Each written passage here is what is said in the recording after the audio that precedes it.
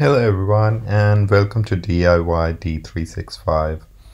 In this video we will talk about patient management app. Um, I did post a blog about this uh, probably a couple of weeks ago and I did say video coming soon so this video is about that. We will look into the functionality of the app as well as we'll go to the functions and formulas and the screens. Uh, we will also look into the model driven app behind it coming up right after the intro.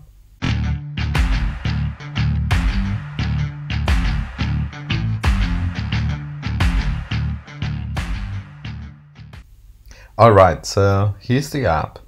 Uh, on my screen, you can clearly see a landing page. Now, it says, Welcome to DIY D365 Clinic. I'm a patient or I'm a doctor. So it's meant for both doctors and patients.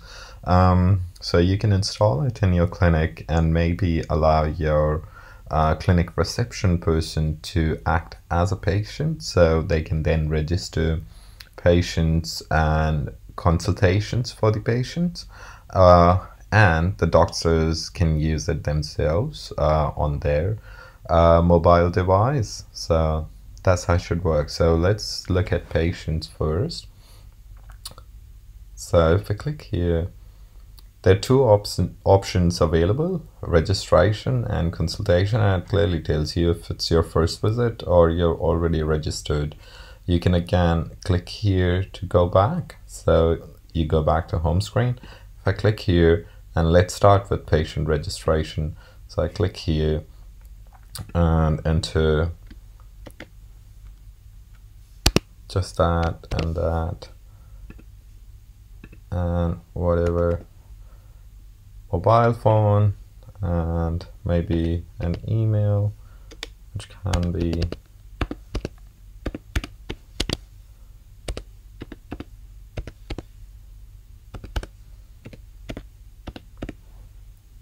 and I can then click a picture. It's not showing my face because this video is without my face. So if I click here, it takes a picture and makes it round. And then I can hit save and it saves me in the system as a patient. So that part is done. Now we can go back to home and book a consultation. Um, since I've already registered, I'll find, so that's my name, which I've just registered myself. Priority, low, the time, start time, end time, they're defaulted to, uh, this one is defaulted to now, and this is now plus 15 minutes. Uh, and I can just tick here I will save it take me back to the home patient's home screen. Um, now let me act like a doctor here. I'll go back to the landing page and click I'm a doctor. I need to look at my consultations or I need to look at my patient so two options provided for them. Uh, we will first see my patients.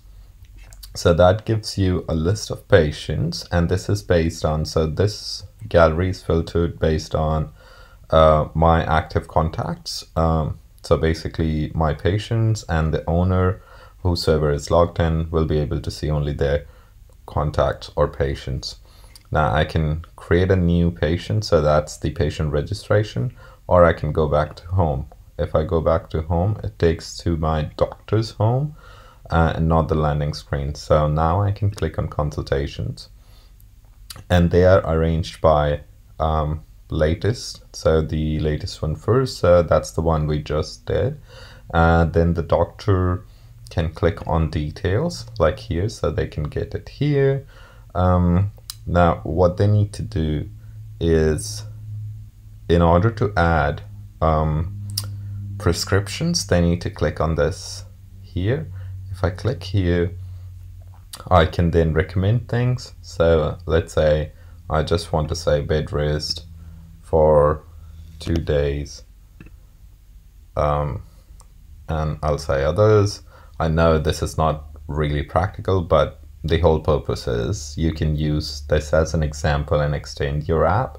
So then I hit save and will take me back and you can see that. Now I've provided two options here, whether you want to send the medical certificate to your patient or not. And also your patient can ask to put in a pharmacist of their choice. So if I click here and let me just do property one, just consider it pharmacy one.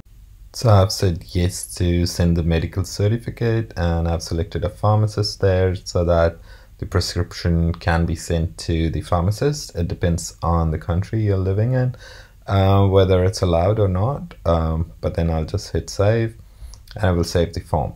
So if I go back here, I'll be able to see it. Now, that's all this does this app does uh, on the mobile but there's more to it on the on the model driven app. So we will quickly look at it and then we will go to um, power apps make.powerapps.com so you can see what's done behind the scene. So all right. So clinic management uh, model driven app. So this is um, the dashboard and you can see consultations by day. Uh, this one is for today. Um, consultations by doctors. So you have all three doctors there and the number of consultations they have. Um, consultations by priority and patients. Um, patients by doctors, as in how many patients are handled by each doctor. Um, patients by pharmacists, which pharmacists they go to more that tells you that helps you to recommend a pharmacy to a patient if everybody goes to this one um, obviously you can recommend that one. And then we will go to patient um, this is the patient form so all the basic details etc uh, etc et you can also look at their consultations. Uh, you can also look at their prescriptions back here. So basically this model driven app would be uh, probably seen by doctors. Um, what we'll do actually is go to the contact we just created on the app so you can see um, the medical certificate, etc. Okay, so the patient we just created was no, because yeah, this one. So this one we created just now and we can now see what has happened. So you can see what has happened here is your medical certificate as well as your prescription right? Because on the consultation for this guy so if we go here we can see that I've said yes to medical certificate and both my prescription and medical certificate are running from this field. So that's why it has sent both medical certificate as well as prescription. Um, so that's that. This is the consultation form. You can see I've created a custom field called patient. Doctor is basically the owner. Then you have drugs and dosage. This is nothing but products. So that's that. Pharmacists are nothing uh, but accounts in the system. So that's your model driven app. Quickly looking at prescriptions, you can see that. So that's how you select. Basically, medicine is product lookup, and then you have a consultation lookup. You have a patient lookup. That's that's why it connects everything to the patient so that you can report on it. I've shown you the consultation form already. This is where the uh, prescription should be. Now we will go jump into the Power App. So here it is. So that's your landing screen. So I've done nothing here. There, these are images. You can see uh, whatever their name is, and on select of that, I'm going to different screens. So it's very basic. That's that. Uh, patient home screen. So that's again patient's home screen. I've added two buttons, and I'm navigating to different screens from there simple as and this one takes you back to the home. Um, then we have register patient so register patient if you look at um, I have explained this to you in my blog formula. Um, so this is just a contact form uh, where you've got a save button and go back to the home uh, field names etc etc and then you I have put in uh, camera control here and when I click on that it collects a picture here. So that's what is happening. So if I go to camera and I see the on select so I'm collecting the photo uh, from here and that's what I put in my entity image. So um, image here. So that's collect that's taking the camera one photo and I've explained this to uh, you over the blog every Power Apps formula also in my visitor sign-in app. So that's similar. So that's your registration form. And consultation is your appointment form here where I've defaulted uh, the date and time. So um, if I go to my component here and I see the default it will tell you now and the default for end time would be um, now plus 0.25 so that's that. So that's how that's done. And closing that then we have doctor's home screen again. We have a back button to go back to the home. And we have got two buttons here which navigate to you uh, you to two different screens. My patient again as you've got some buttons here. I'm sure you know it this is the search item. This all comes default. When you add a new screen with list this all comes by default. Uh, and then if I click on my gallery so this is basically this GUID is actually active my active contact. Um, now you'll ask me why did I do it this way instead of just selecting the view I haven't. I did do my active contacts but when I opened the app today somehow I'm able to see this. So I don't know why this happened but still it gives me correct results so I'm not bothered.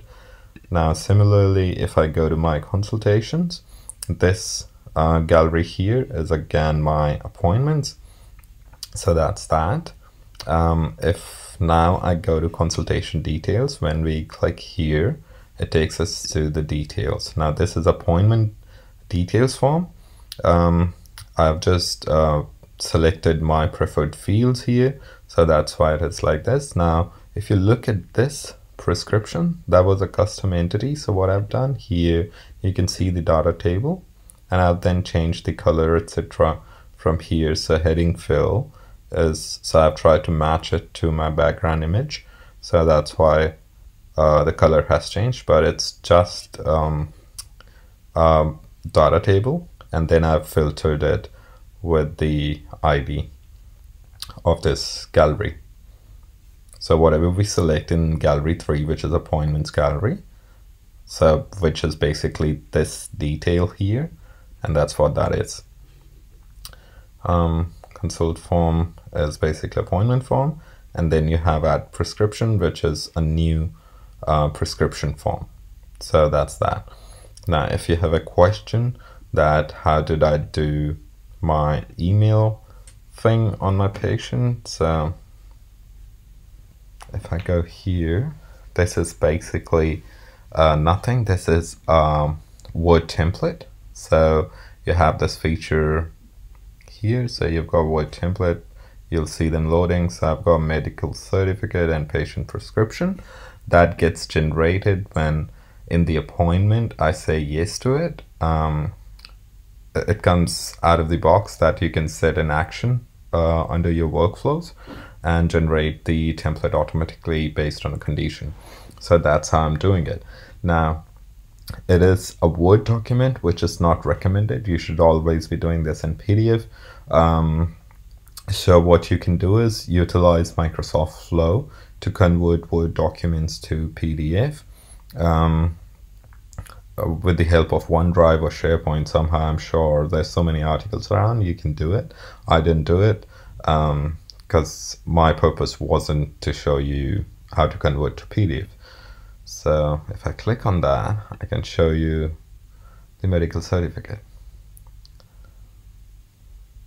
So basically very simple. I've created a template dates and times and a signature um, image kind of thing. And similarly, if I go to prescription, um, it shows you the prescription table. So whatever I've said there, it's written here. So it's quite simple, um, but you can send it to both patient and pharmacy, depending if the patients want so. So that's about it. Thank you for watching. Have a good day.